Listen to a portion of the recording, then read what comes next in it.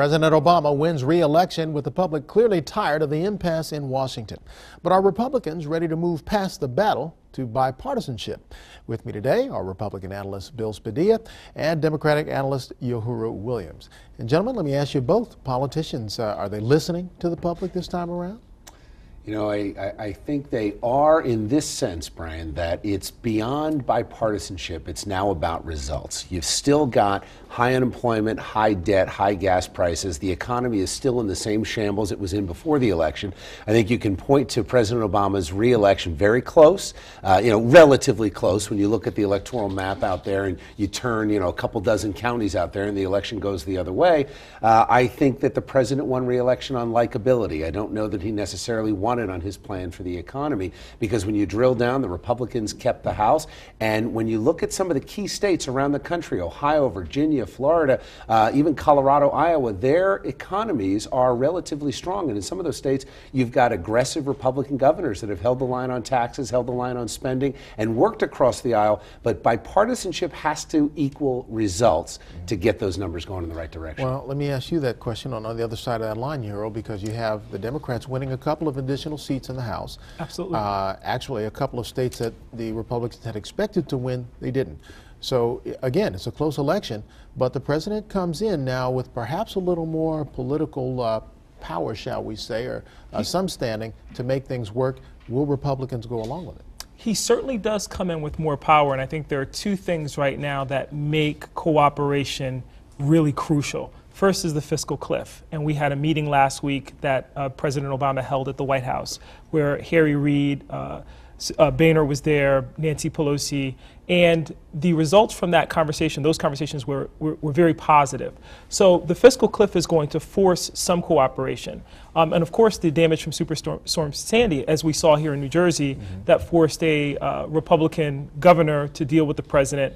And Unfortunately, it's situations like this, unfortunately, it's crisis management, I think, often that produces bipartisanship not the um, will of the American people to have people or political parties that really want to deal with issues in a way that makes sense. Well, in that sense, you're right. I mean, it was results oriented. You Absolutely. know, when we look at the reason that Governor Christie had to partner with President Obama is, look, he needed the help. The federal government had to come in. There was a lot of money that needed to be spent. There was certainly a call for FEMA to come in. I mean, in terms of just simple things, fuel and generators and power and uh, and and bottled water. So you know, shelter for folks that were displaced and lost their homes.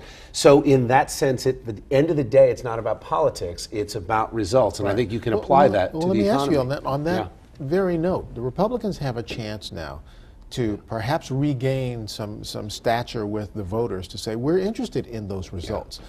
But they've come out of the election jumping on the Benghazi thing instead of we haven't heard anything about the economy.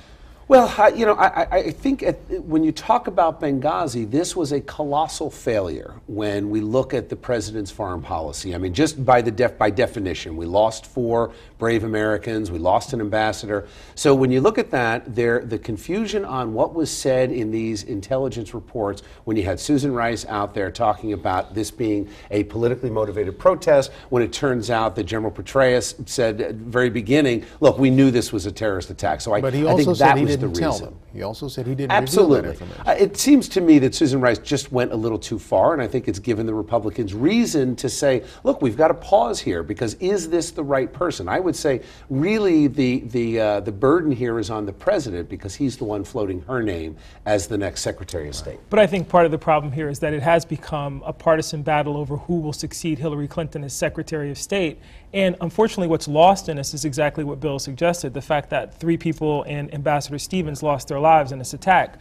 I don't believe the president is responsible, though, however. I, I, believe that ultimately the Republicans are upset because foreign policy is traditionally in their wheelhouse. This is the arena where they've been dominant, where they've been able to make the case consistently that the Democrats have been not prepared, don't present the best options for the United States. And if it is a colossal failure, um, it's a colossal failure that's being painted in partisan terms. I don't think that any way you can say that this is a failure of the Obama administration as much as a reflection of the sad state of affairs that we live in today, where global terrorism is simply a reality. Let me ask you guys both, are you surprised at all that after the election, here we are mid-November, yeah. this fiscal cliff supposedly hits us at the end of December, and we are not talking about the economy. We're The- weeks we're talking about yeah, we're just weeks out. What we're talking about over what's going on overseas has has. I mean, I mean, let me as you watch these things. Let me ask you both your reaction to that and the fact that we're not talking about what the voters said we ought to be talking about. Well, the, you know, the, the voters, it, it's, uh, I don't know that it was a consistent message from the voters in this sense that you had this really opposite results from the fact that the Congress stayed Republican and the Republicans have really stayed on message in terms of low taxes, in terms of helping small business. And the president, uh, to his credit, stayed on message in terms of implementing the National Health Care Plan. And I, I think that there are so many issues out there that many people, you look at Ohio as an example, swing state, you know, the folks in Ohio, from their perspective, 6.7% unemployment. Uh, in their perspective, uh, the economy is pretty good, and they've got a good governor, and I think that's one of the reasons why you see some of the issues jumping around. It isn't affecting everybody. One of the dangers of this, however, is that if they do not take proactive measures to deal with this problem, that this is going to be a long, slow, painful uh, process that's going to play out if this 500 billion in, in cuts um, actually kicks in. So this fiscal cliff is a pretty significant benchmark. And what I hope, and I'm sure Bill would agree with me here, is that we don't get a stopgap measure. What we actually get is some concrete movement on this issue um, that is long term. As long as we don't do long term damage. And I think when, when you see the debate going on about taxes in particular, you know, the Republicans have got to get ahead of this issue as to why they are opposing taxes on the so called millionaires, the 250,000 plus. You know, they've got to really bring it back to small business. And I think that's what's working when you look at what Governor Kasich did in Ohio, what Governor Christie is pushing for in New Jersey, uh, Governor McDonnell in Virginia, same thing, that you got to apply the tax relief across the board because you've got to create jobs. And I think the voters will respond very positively to that. Uh, and we're already starting to see it. I mean, they are talking, even Nancy Pelosi and Harry Reid the other day said that they were confident that we were getting toward a solution. So I, I think we're going to see one very soon. Well, they said they were considering revenue. Uh, the extent of that, we just don't know. But uh, there seems to be some coming together of the two sides.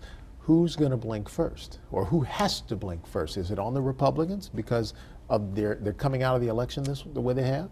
No, I think uh, if this, if the president came into reelection with a solid mandate in a landslide, uh, I think it's a very different conversation. I, I, think that if if the Republicans had lost more House seats, they only lost a handful. And let's face it, uh, you know, even when we talk about the U.S. Senate, a couple of those seats were in Republican hands until the candidates said some knucklehead things and really got themselves in, embroiled in controversy and completely distracted away from the issue. So uh, I think it's going to have to be the president that blinks because it, it really is about spending. When you look at the exit polls, people are concerned about big government and big spending. President won on likability doesn't take away from the fact that people believe government is simply too big and we've got to rein it in. I disagree, and I think ultimately, at the end of the day, this is a question of legacy for Obama.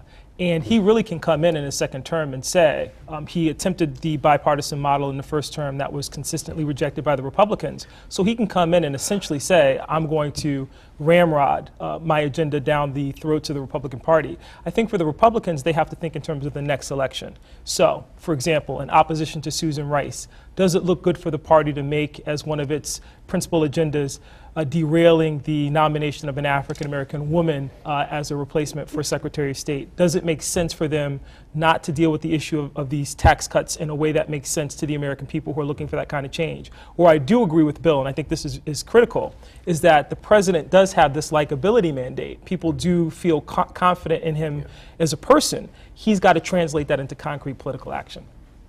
Romney has made uh, several comments that, that, sound like sour grapes, but let me throw one of them at yeah. you. He said that the president is not being a good friend to Israel. Uh, in the scenario we deal with now, yeah. do you agree with that?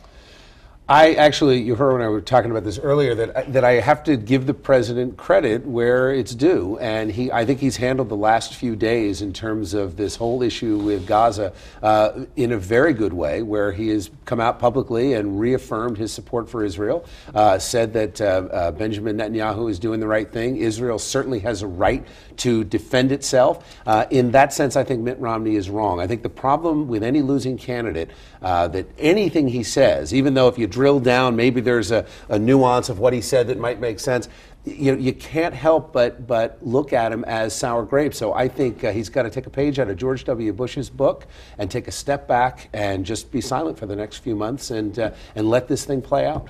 Let me ask you guys one final question. What, do- what does each party do for the next four years to prepare for 2016?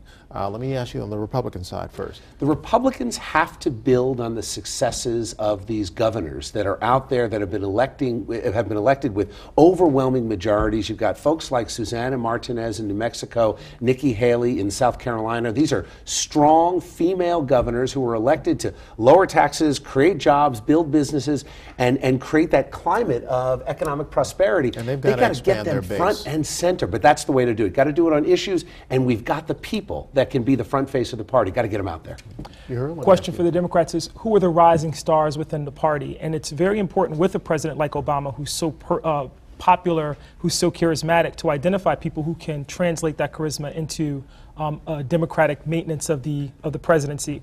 Also, very important for the Democrats to think in terms of not only Obama's legacy, but what's the charge going forward. So, what are the long-term items they want to focus on as a party that will allow them to maintain the interest of the American people and the support of the American people?